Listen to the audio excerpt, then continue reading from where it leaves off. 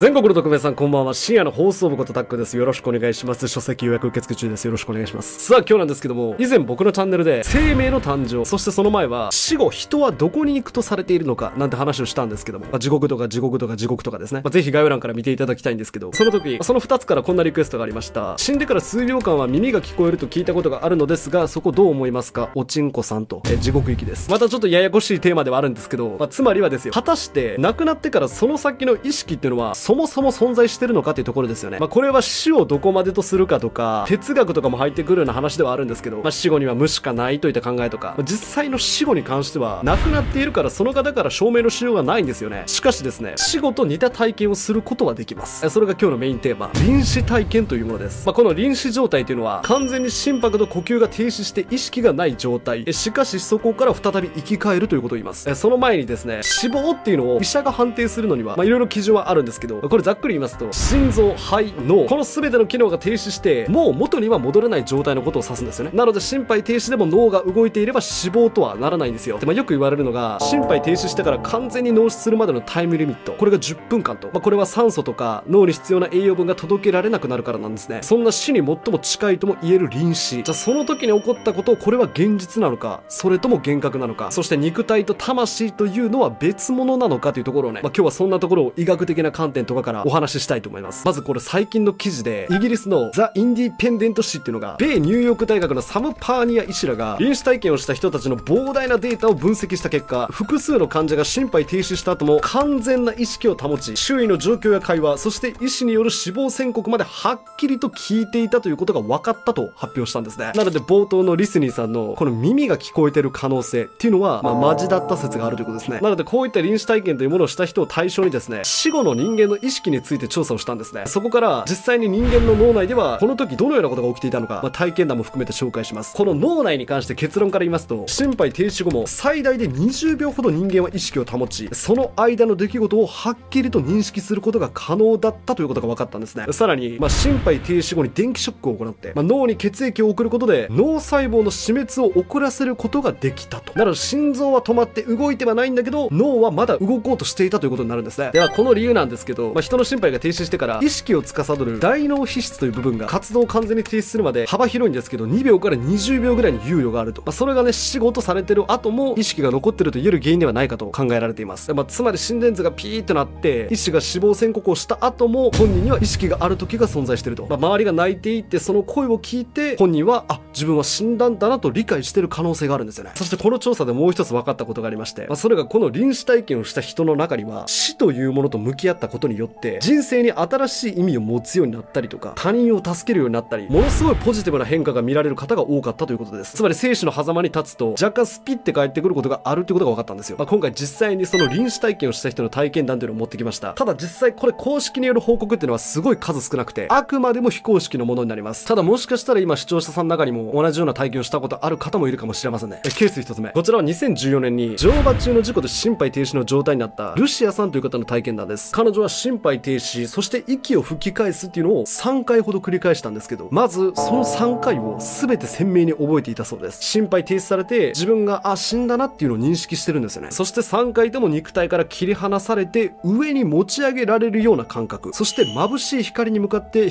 き寄せられていったと言います。その時の彼女には恐怖心というのがなくて、自分の死を受け入れたというんですね。そう考えた瞬間に3歳の頃の自分が自分のことを探しにやってきたと言います。えでそれを見た時ものすごい悲しくなってきたらしいんですね。なのでいややっぱ生きようっていう風に決断した瞬間息を吹き返したんですね。これを3回やってますからね。え次はもっと長い臨死体験をした方の証言です。ケース2つ目。これはイギリスに住むクリストファー・ムーニー氏という方でかつて30秒ほどの臨死体験をした方です。彼女曰く3つのステージがあったと言います。サスケみたいな。でもねこれさっきの人とちょっと似てるんですよね。3回っていうところがね。まずはじめ極度の静寂に包まれた。とてつもない孤独を感じたと。しかしどうすることもできないということを悟って徐々に心安らぐ静寂へ変わっていったと。そして次のステージではこれまでの人生をとてもとても反省したと。まあ走馬灯ってやつですよね。この30秒の間に人生を振り返ってはなんであの時ああしなかったんだろうとかものすごい反省したそうです。そして最後のステージ。次はそれすらも開き直ったのか逆に面白おかしくなってきたと。そしてその時の頭の中では私はなんてラッキーなんだと突如笑いが起き上げたと言います。そしてこの瞬間息を吹き返した彼女はこの日を境にですね世界観そして人生観が大きく変わったそうです。総じて彼彼女は私は無神論者でしたがこのまま死んでも終わるわけではないと感じた。ただ別の場所に行くだけなんだなと実感したと言います、まあ、つまり結構神秘的な経験であり臨死の中で後悔や反省を行って帰ってきたということですね、まあ、この他の報告にもすごい共通して静かで心安らぐ感覚。暗いトンネルを光に向かって進む感覚。でよく言われてる三途の川みたいな境界線とかそして対外離脱。神的な存在との接触っていうのが非常に多かったんですね。細かい違いはあるんですけど体験した人の多くがさもプログラムされたかのように似たような経験をしてるっていうのはものすごく興味深いですよね。じゃこれってスピリチュアル的な話なのか？それとももともと人間とか脳に備わった現象として説明ができるのか？ここに関してちょっと話は変わるんですけど DMT ジメチルトリプタミンっていう幻覚剤があるんですけどこれ外国ペルーの国とかでは薬物依存症の構成施設なんかで治療薬として使われてることもあるんですけどこれを使用したかつ臨死体験をした方からこの2つが非常に似てると言われることが多いんですね。これ日本では所持使用っていうのが規制されています。まあその理由でもあるんですけどこの DMT が脳に実際どのように影響してるのかこれが具体的に分かっていないものなんですけどただこの DMT という幻覚物質がもともと人間の体に備わってるということが分かったんですね。それが消化体と呼ばれる脳内にある小さな器官でして爆笑なのがこの器官。最近まで一体何のためにあるかっていうのが全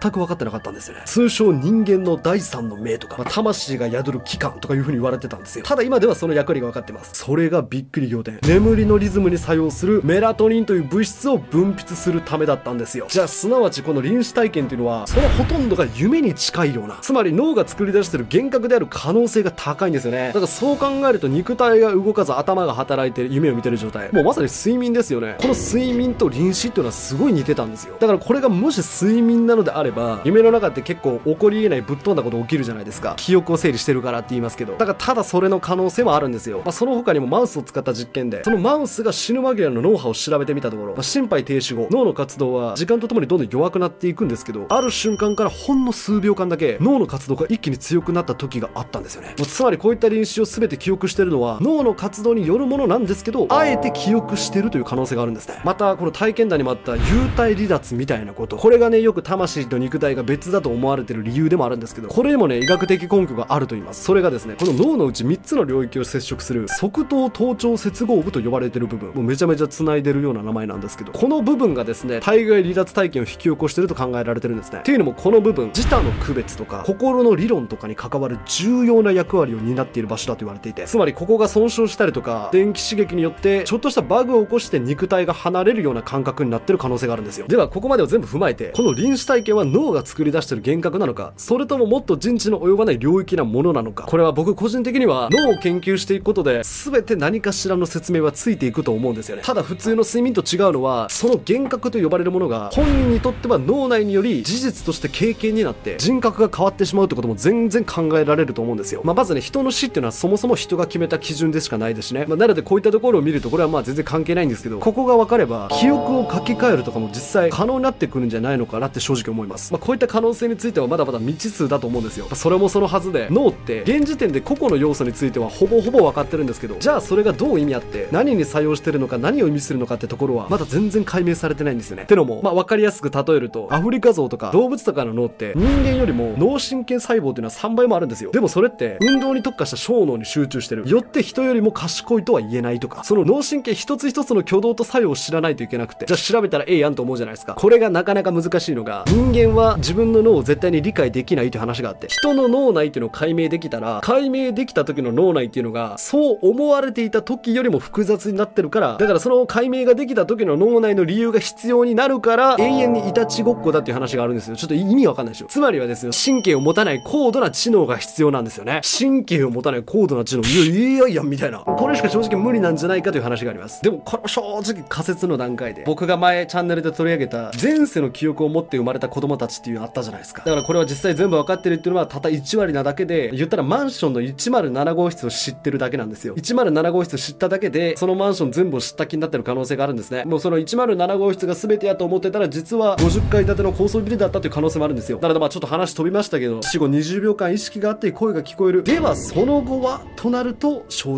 直わからないというのが正解かもしれないですね。もしかしたらその意識というのは別のところに行く。インターネットってクラウドってあるじゃないですか。なのでそんな感じで脳自体がデバイスの可能性だってあるんですよね。本当はもっと高度な場所に意識ってものはずっと保存されてる可能性だってあるということです。はい、というわけで今日は以上でございます。えぜひですね、人の死後はどこに行くのかというところ、皆さんのご意見、ご感想をお待ちしております。ということで本日も最後までご視聴ありがとうございました。また次回の動画でお会いしましょう。おやすみなさい。